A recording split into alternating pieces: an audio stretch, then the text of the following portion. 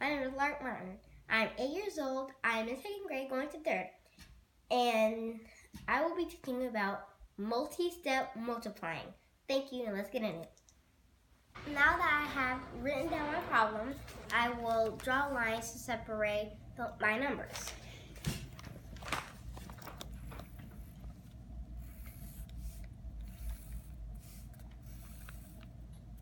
And now I'll draw boxes underneath them.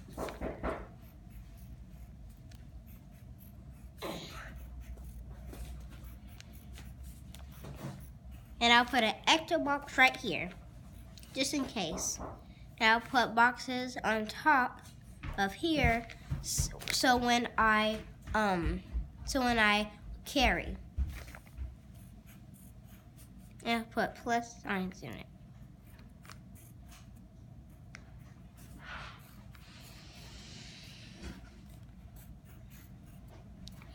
And as you can see, and as you can see, you don't put any box on the last one. So I will now put no box. And you don't put a box on the extra one box. So the two represents the two times tables, and I'll write six circles because I see six here.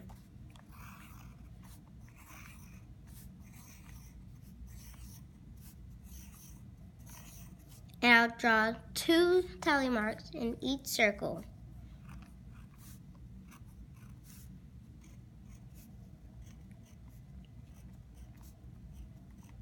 And I'll put the numbers on top of them to, mm, to remember my times tables. One, two, three, four, five, six, seven, eight, 9, 10, and 11, 12. And 2 times 4 is 2 times 1, 2 times 2, 2 times 3, and 2 times 4. So 2 times 4 is 8, and I'll put 8 up here so my teachers can check and see if my multiplying is right, it's correct. And I'll also put an 8 right here because 2 times 4 is 8. And then I will draw an arrow to the 5. And, oh yeah, and I don't have to borrow anything, so I put a 0 here. And so, yeah, I'll draw 2 to the 5. And 2 times 5 is 2 times 1, 2 times 2, 2 times 3, 2 times 4, and 2 times 5. And 2 times 5 is 10. So I'll, draw, I'll put a 10 here and I have to borrow something. So I'll put the zero in this box and the one in here. And I have to carry the one here. And I'll draw a two to the six. So it's two times six. But two times six plus one. So let's see what two times six is first. Two times one, two times two, two times three, two times four, two times five, and two times six.